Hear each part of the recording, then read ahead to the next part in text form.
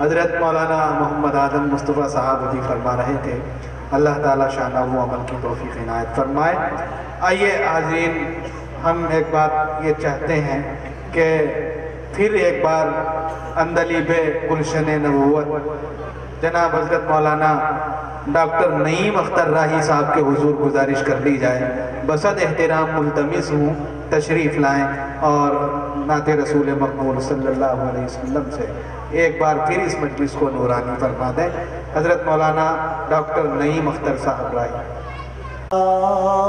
لیکن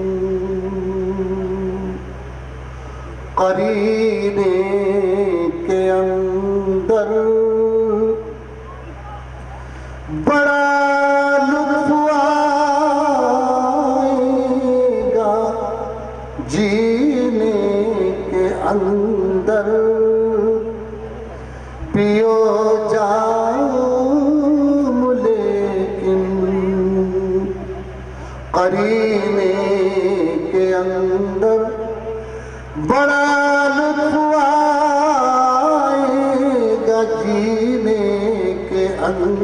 کر ہمارے محترم حافظ محمد علی صاحب کی فرمائش، تمنا ہے یہ میرے سینے کے اندر، تمنا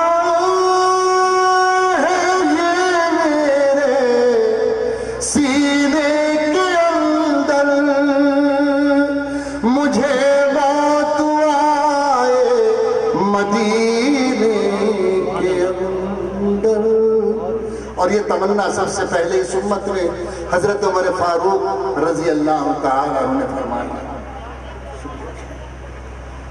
تمنا ہے یہ میرے سینے کے اندر۔ تمنا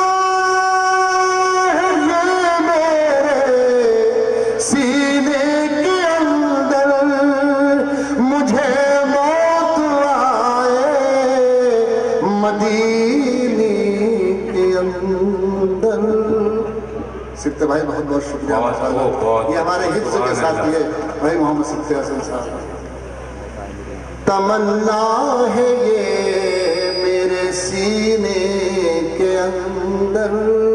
اور سماعت کریں شیر جی۔ ارشاد جی کہ نہیں ایسی خوشبو گلاب و عطر میں نہیں ایسی خوشبو گلاب و عطر میں نہیں ایسی خوشبو گلاب و عطر میں جو سرکار کے ہے پسینے کے اندر جو سرکار پسینے کے اندر۔ حضرت صدر صاحب فرشتے پڑھائے نماز جنازہ نماز جنازہ۔ فرشتے پڑھائے نماز جنازہ۔ فرشتے نماز جنازہ جو مر جائے مومن مدینے کے اندر۔ سبحان اللہ سبحان اللہ۔ جو مر جائے مومن مدینے کے اندر۔ جو مر جائے مومن بھائی شکریہ جزاک اللہ۔ اور یہ شعر آپ شعر سمجھ لیں کہ آج یہ شعر آپ حضرات کی نظر کر رہا ہوں کہ تڑپتے ہیں پروانے ہندوستان میں۔ تڑپتے ہیں پروانے ہندوستان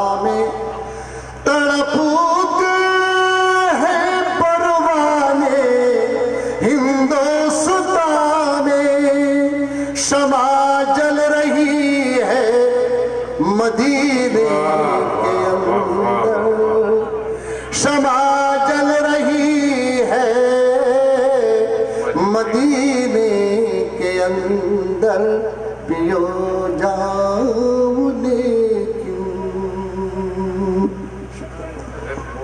فرمائش ہے دروازے کا چند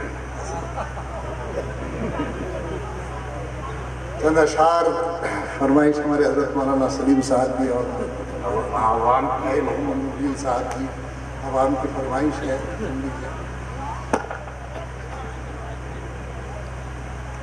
اس نظم میں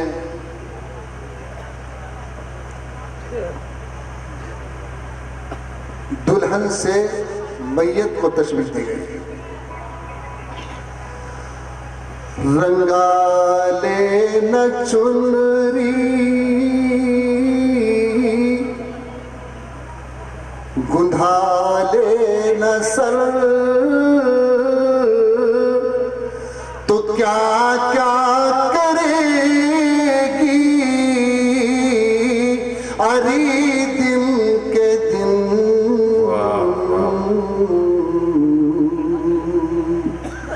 نہ جانے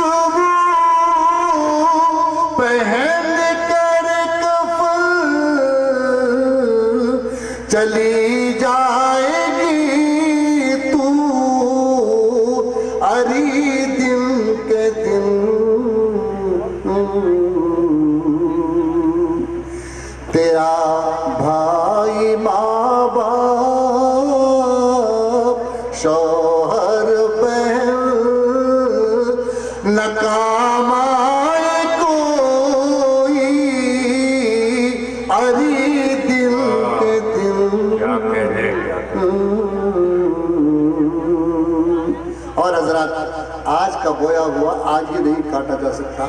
آپ حضرت کاشتکار ہیں اور جانتے ہیں، علماء کرام کا ایک جمع غفیر یہاں پر جلوہ افروز ہیں۔ عمر کی جو کھیتی ہے سور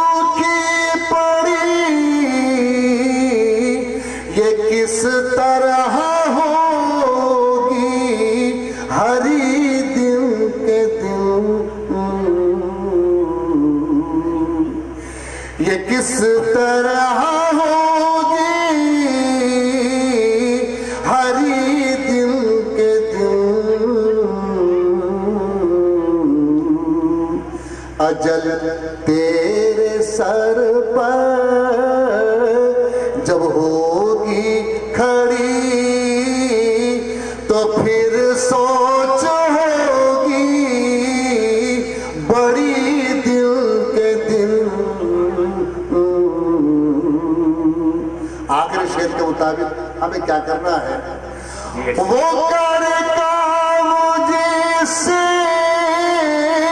پیا خوش نشر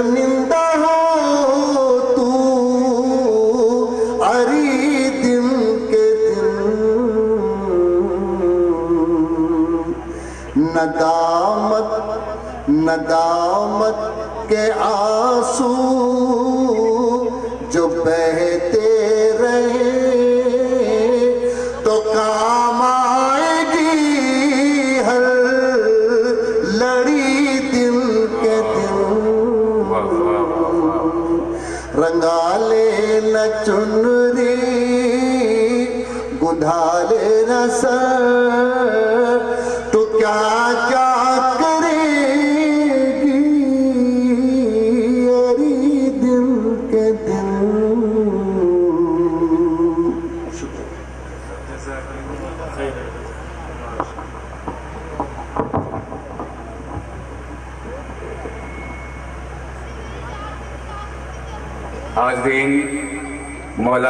محمد اخلاق صاحب دامت برکاتہ شہر قاضی جسپور اترکھن یہاں تشریف رکھتے ہیں۔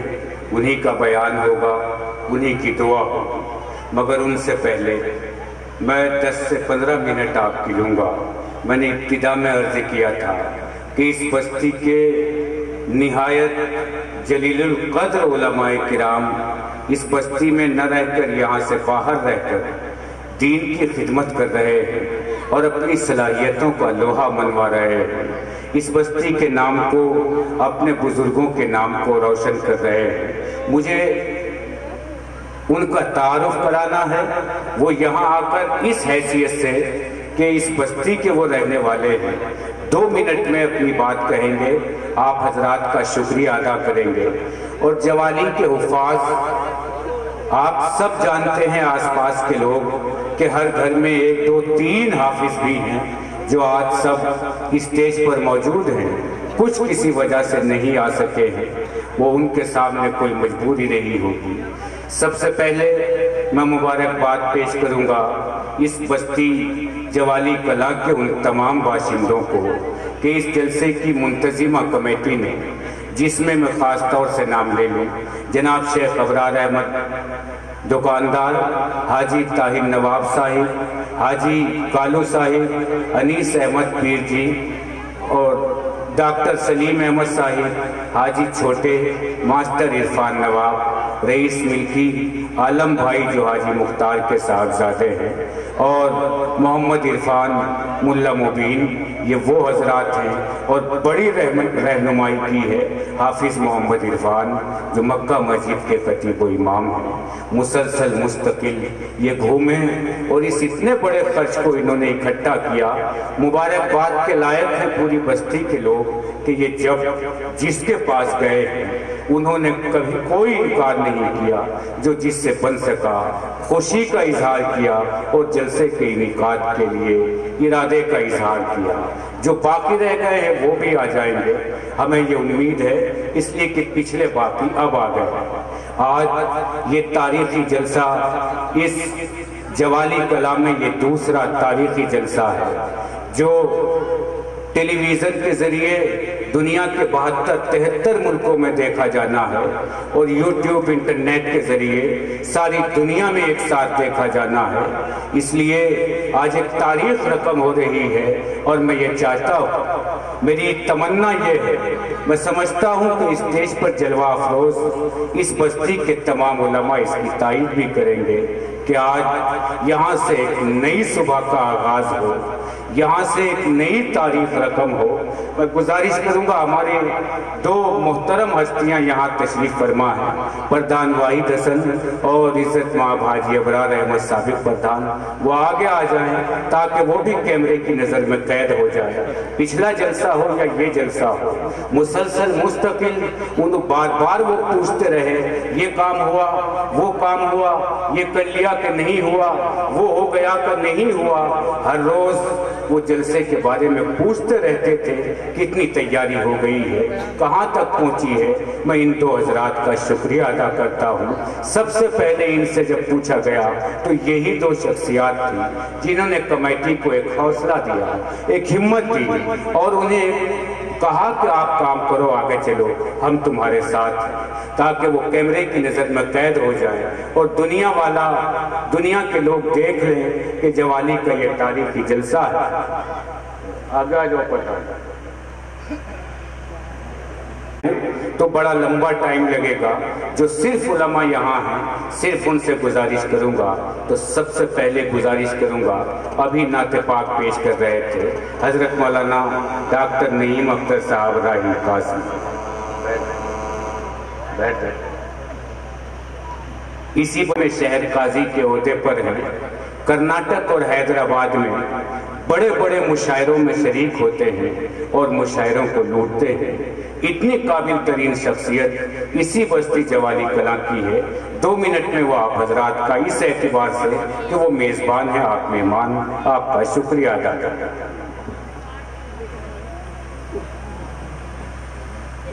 حضرت گرامی، میں دل کی گہرائیوں سے جلسے کے روح رواں حضرت مولانا محمد سلیم صاحب اور بستی کے تمام افراد چھوٹے اور بڑے نجات کا ذریعہ بنتا چلا جائے، ہدایت کا ذریعہ بنتا چلا جائے۔ اللہ مزید فضید اللہ تبارک و تعالیٰ ان حضرات کے اسکالش کو اپنے فضل و کرم سے قبول فرمائے۔ دعا کرتا ہوں۔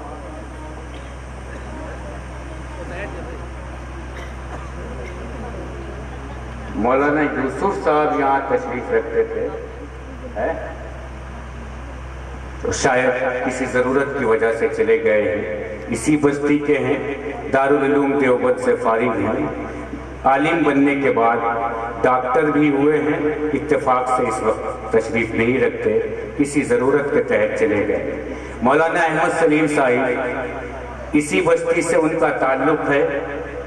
صبح تک مکمل آنے کا ارادہ تھا، کوئی مجبوری ہوئی نہیں آ سکے۔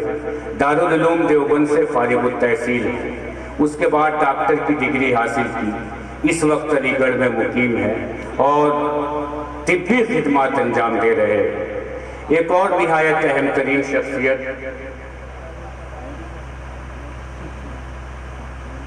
جناب حضرت مولانا مفتی محمد عارف صاحب، اسی بستی سے آپ کا بھی تعلق ہے۔ دارالعلوم دیوبند سے فارغ ہیں۔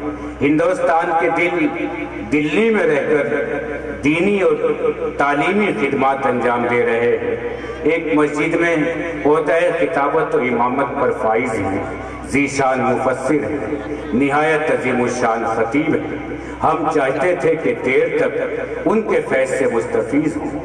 مگر میرا ایک ارادہ ہے۔ جوانی کے لوگ یہاں ہیں۔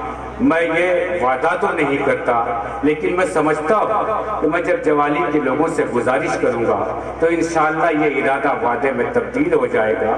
عید الفطر سے دو تین روز بعد ہم ایک پروگرام رکھیں گے، اس میں صرف اور صرف جوالی کے علماء کا خطاب ہوگا۔ تمام کے تمام جوالی کے علماء کو ہم زحمت دیں گے اور انہی کا خطاب ہوگا۔ اس وقت تو حق میزبانی ادا کرتے ہوئے میں جناب مفتی محمد عارف صاحب سے گزارش کر رہا ہوں کہ آپ تشریف لائیں۔ آپ بھی تحریک شکریہ کرتے ہیں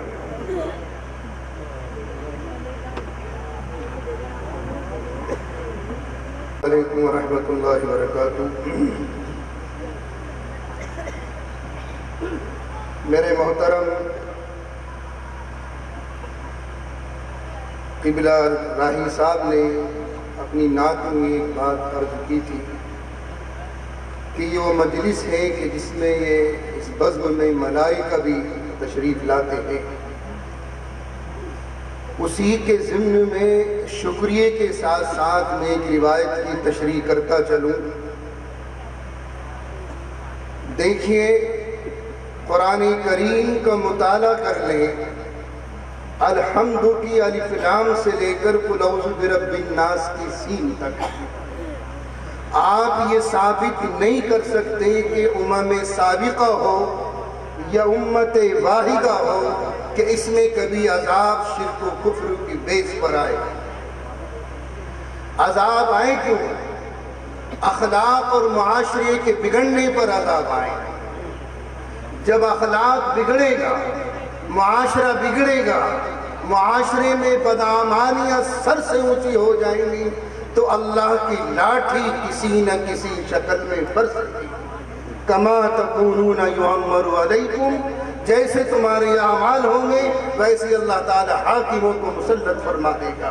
میرے بزرگوں، قابل قدر علماء اکرام صدر محترم، یہ دینی اجلاس ہم سیاسی جھنڈا گاڑنے کے لیے یہاں نہیں آئے ہم دین کی طلب میں یہ میرے علماء کرام علم کے ڈیم ہیں۔ یہ سیلاب کر رہے ہیں پوری امت محمدیہ علی صاحبتی و تسلیم کو۔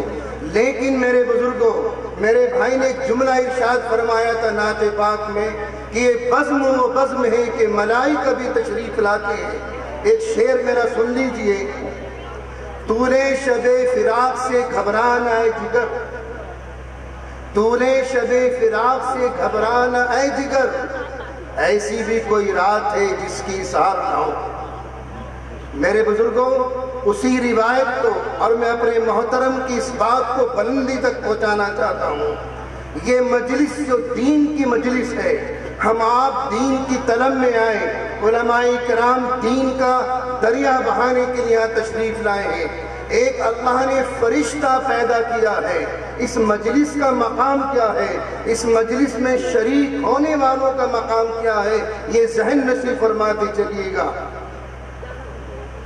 اللہ تعالیٰ نے ایک فرشتہ پیدا کیا ایکسپرٹ آف میتھس گنت کا ماہر حساب کا ماہر وہ کہتا ہے کہ اللہ اگر مجھے حکم دے تو جتنے آسمان میں ستارے ہیں، ایک سیکنڈ میں گن کے رکھ دوں گا۔ اللہ اگر مجھے حکم دے جتنے دنیا میں درخت ہیں، ان درختوں پر جتنے پتے ہیں، جتنی شاخیں ہیں ایک سیکنڈ میں گن کے رنگ دوں گا۔ اگر اللہ مجھے حکم دے ان سمندروں میں کتنے قطرات ہیں، ایک سیکنڈ میں گن کے رنگ دوں گا۔ اگر اللہ مجھے حکم دے کہ آسمانوں میں کتنے ستارے ہیں، ایک سیکنڈ میں گن کے رنگ دوں گا۔ اگر اللہ مجھے حکم دے کہ ہمارے سروں پر کتنے بال ہیں، تو ایک سیکنڈ میں گن کے رنگ دوں گا۔ لیکن وہ اللہ کے وہ بندے جو دین کی مجلس میں شریک ہوتے ہیں، اللہ تعالیٰ قیامت کے دن ان کو اتنی نیکیاں دے گا کہ میری گنتی سے باہر ہے۔ میری گنتی سے باہر ہے۔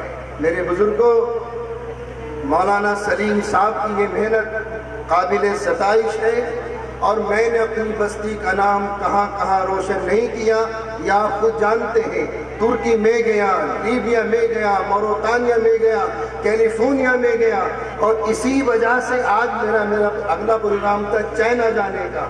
اسلامک کلچر سینٹر کو میں نے اپنی ڈیٹ دے دی ہے، جس کی وجہ سے میں باؤنڈ ہو چکا ہوں۔ میری بزرگوں، ایک بات اور سن لیجیے چلتے چلتے۔ علم کے حاصل کرنے کی کوئی قید نہیں۔